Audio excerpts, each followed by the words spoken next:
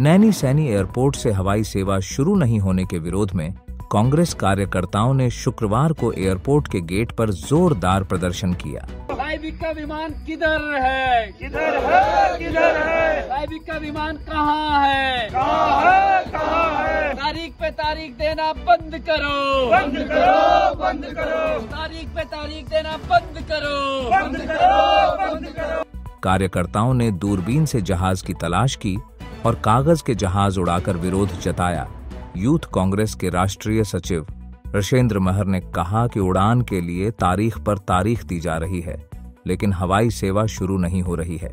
क्योंकि जिलाधिकारी महोदय द्वारा कहा गया था कि एक तारीख को यहाँ पे ट्रायल लैंडिंग होगी और पंद्रह तारीख से सुचारू रूप से यहाँ पे हवाई सेवा शुरू होगी। मैं कहना चाहता हूँ कि नैनी सैनी क्षेत्र में स्कूल को तोड़ दिया गया, लोगों के घर तोड़ दिए गए, लोगों को बेघर कर दिया गया कि भाई हवाई सेवा शुरू होनी है। लेकिन अभी तक दो से तीन महीने से ज़्यादा समय हो गया, हवाई सेवा शुरू क्यों नहीं हुई है? क्या केवल तारीख पे तारीख देना इस सरकार का काम है? हवाई सेवा यहाँ के लिए बहुत महत्वपूर्ण है, क्योंकि पिथौरागढ़ एक सीमांत जिला है, पहाड़ी क्षेत्र है, वर्षा ऋतु पे सड़कें बंद रहती हैं। जो महिलाएँ प्रसव के दौरान कई लोग हायर रेफर सेंटर को रेफर होते हैं तो रास्ते में अपना दम तोड़ देते हैं। बुज़ुर्गों को एक्सीडेंटल अगर कोई केस होता है तो हमको समस्याओं का सामना करना पड़ता है। हवाई सेवा के नाम पर एक स्कूल, कई भवन तोड़ दिए गए। इसके बाद भी जनता को केवल गुमराह किया जा रहा है। उन्होंने कहा कि जल्द सेवा शुरू नहीं की जाती है तो कांग्रेस उग्र आंदोलन के लिए बाध्य होगी। पिथौरागढ़ पूर्व छात्र नेता एवं शिक्षक नेता महेश जोशी की पहल पर शुरू हुआ वृक्षारोपण अभियान। अब महाभियान का रूप ले चुका है। वर्ष 2005 से अब तक शिक्षक, छात्र और विभिन्न संगठनों के लोगों ने मिलकर तीस हज़ार से अधिक वृक्ष लगाए हैं। अभियान के संचालक महेश जोशी ने बताया कि उन्होंने वर्ष 2005 में इस अभियान की शुरुआत की थी।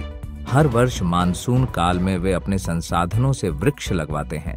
शिक्षक समुदाय वर्ष में दो बार लगाए गए स्थलों पर जाकर पौधों की देखभाल करता है।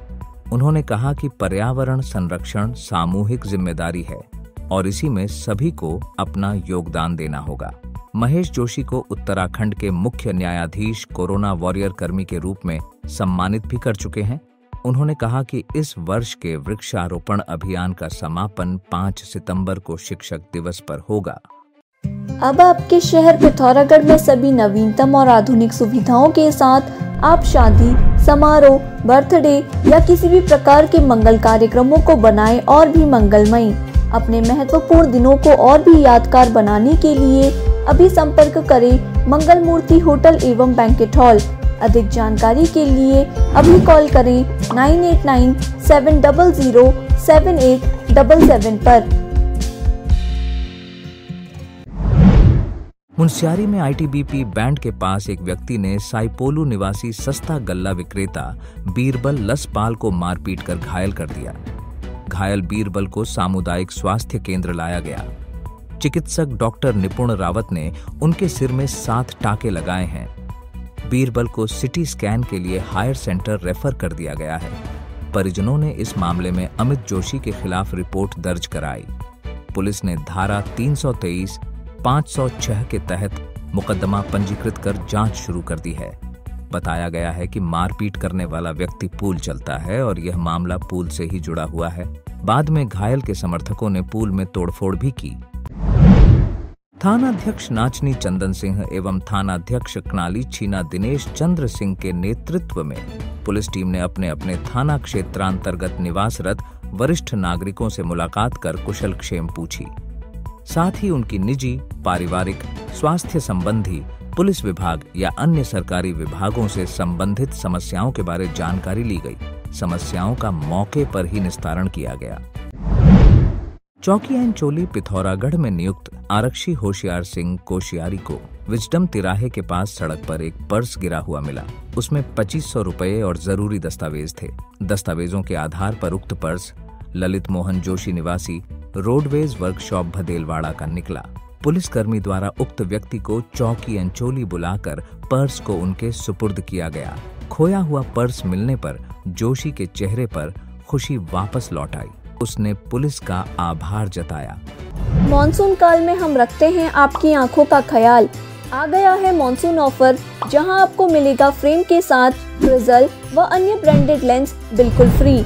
ऑफ़र सिर्फ़ 1 अगस्त 2023 से 30 सितंबर 2023 तक। फ्रेम तीन सौ रूपए ऐसी शुरू, और भी कई ऑफ़र उपलब्ध। आज ही ऑफ़र का लाभ उठाएँ, जल्द संपर्क करें Rayban opticals Parvati market Siltham या optical gallery near S B I Simalgair Pithoragarh मुख्यमंत्री उदयमान खिलाड़ी उन्नयन छात्रवृत्ति के अंतर्गत अटल उत्कृष्ट राजकीय इंटर कॉलेज झूलाघाट के चार छात्र छात्राओं राखी गोबाड़ी, जिया रावत, भावेश भट्ट और कंचन महर का चयन हुआ है। विद्यालय के प्रधानाचार्य जयार शाह और व्यायाम शिक्षक अर्जुन कुमार ने विद्यार्थियों को सम्मानित किया। इस अवसर पर जीबी भट्ट, हरीश खोलिया, राकेश चौहान दया कृष्ण भट्ट ने चयनित विद्यार्थियों को बधाई देते हुए उनके उज्जवल भविष्य की कामना।